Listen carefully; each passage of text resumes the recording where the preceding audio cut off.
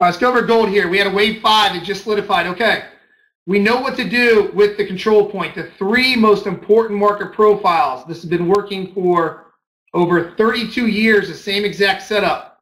Our most important three profiles are these big red, blue, green levels. That is volume profile.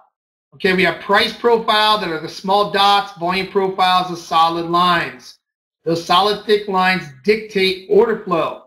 That's where you're getting all the algorithm activity, all the banks, hedge funds, amateur traders, professional traders. And what it does, that big blue thick line spits out the most volume that's traded in that particular instrument that you're trading. That's why market profile has been so accurate for 32 years. The beautiful thing about my blue line, that will dictate the most volume in that instrument. That is tradable with overall trend direction. We had a wave three and a wave five. This is a wave five I projected before it happened. We just got this trade off here a second ago. But let's look at this wave three. Easy way to trade these levels. If you're in a downtrend, we cross down, look for a break. You get three shots at taking shorts. Retest, there's my retest. We had negative market delta. That was the first short. That was a wave three pattern, Elliott wave three. Three and five patterns are your longest legs in Elliott wave. You don't need to understand how to do Elliott wave because market profile typically sets up the waves.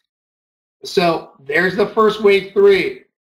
Then I said, look, look for the next retracement up. We're at a 50% retracement level here. It's a 50% retracement level at the same time.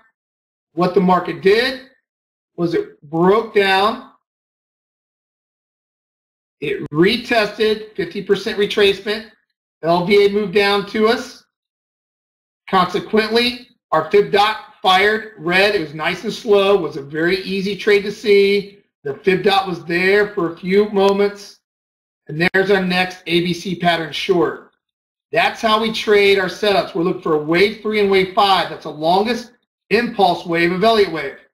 You don't understand, have to understand Elliott wave, but you have to understand what I'm trying to do off these market profile levels is define these ABC or, or these Elliott wave patterns off of my market profile. If I, I look for a break, retest, break, retest, Look how beautiful this set up set itself up. Not only did I break retest, look at the first one over here in my white chart. It broke through low value area, weakened the market. Retested.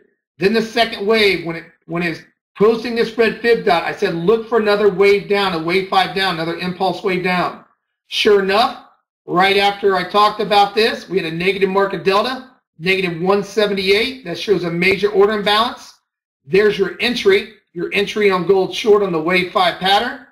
The fill should have been right around 1244.30, give or take a couple ticks on slippage, positive or minus. Your stop loss is always two ticks above the swing high on market delta. We had a defined stop, and then all the way down to our symmetry dots to scale 50% and into our next price profile. So those that's how you do a wave through wave five. What we're trying to do, guys and gals, is that you do not want to buy and sell with this methodology. This is not a stochastic. It's not a moving average convergence divergence. You're not doing moving average crossovers. That's for amateur traders. This is a professional way how to trade. Because what we're doing is we're trading off order flow. And what we're doing is we're trading off volume profile as our main one. So you can see my trend filter crossed down. We broke through control point. Take the first retest of control that's our first trade. Negative market delta at 1246. Got as low as almost 1241 and a half. Big trade. The next trade setup was, I said, look for the first retracement. It broke, retested as a 50% retracement when this Fibonacci dot came up. Look at my negative market delta, negative 178. There's your entry, 1244.30, 1244.20, depending on your slippage. Stop loss was predefined two ticks above the swing high, and that's a beautiful wave three, wave five pattern short. But notice one thing. We're simply looking for ABC pattern shorts. You only get three shots in a downtrend. You get a break retest the blue line, a break retest the green line, or if it would have came up and retested this red line, that's high value area, that'd been another short opportunity. You only get three shots. You get three shots at downtrends. Right there's your next shot right there. One, two, three. All right, we're trying to catch the wrongly positioned traders once it finally breaks, retest. We're trying to catch the wrongly positioned traders. Because what we're piggybacking our order flow off of is all these algorithms out there, all these banks, these hedge funds, prop firms, because we know that these levels are going to generate major support and resistance because it's based upon volume coming in the market. It's not my opinion. It's not your opinion. This is actual volume that's coming in the market from all these different sources. And it produces this big, thick blue line.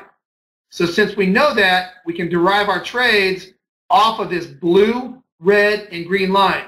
And if the small dots overlap it, or developing profile on the white chart overlaps it, you have what's called a stack or conclude level. We try to let it break, retest.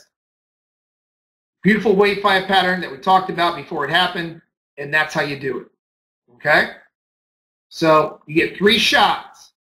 One off the red line, one off the blue line, which is the control point, most volume traded, one off the green line, which is low value. If you're in a downtrend, we do not buy low value. We let it break. We let it retest for continuation. Okay? Now the white chart, I have developing profile over this. I have high value in red, low value in green. Very simple. If you break through low value, look for the first retracement. You get another shot at it with a wave five if it concludes on the black chart on resistance, which it did. Okay? And then always use market delta on your first test of these levels to enter the trade after it closes red, you can enter at the open of the next bar, stop loss two ticks above the swing high to limit your risk. And we have a beautiful trade that happened on a wave five pattern day. Okay, so before you shut this off, Joe, I want to make sure we understand this. Get these ABCs off here. There's one thing about this chart. What did it react off of? What did gold react off of today? It reacted off the control point here, break retest control, and then reacted off the 50% retracement off the fib dot here at the low value area that moved down. Look how they react off of it. Beautiful. Absolutely gorgeous. This is not a lagging indicator. This is actual market structure. This is the structure of the market. This is the order flow of the market that created this break retest, break retest. That's not our opinion. That's actually what's happening inside the market. Gerald, shut that off. Shut up, man. So that's order flow, guys. That's how we trade order flow.